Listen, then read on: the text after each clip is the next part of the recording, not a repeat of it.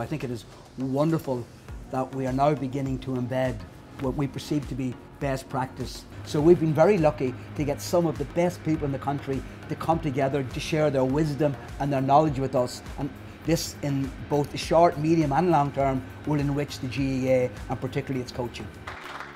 Our vision for sports science in Gaelic, Gaelic Games is all about healthy and holistic player development.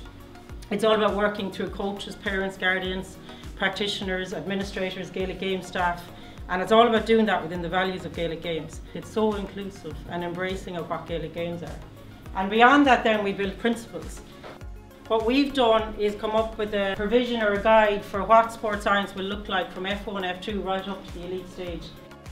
What we're really talking about is playing our games, which is key to everything. Our participation levels, how do we ensure we can keep as many people on the pitch to play our games and using the best research that we have from around the world, we're really looking to embed sports science into, into our games. Coaches can now look and say, well, if I'm the coach for the under 14s, this is what I need to do for psychology, this is what I need to do for strength and conditioning, this is what I need to do for analysis, which is very little really, um, that coaches can now get to see that integrated picture. I don't think there's anything like it out there.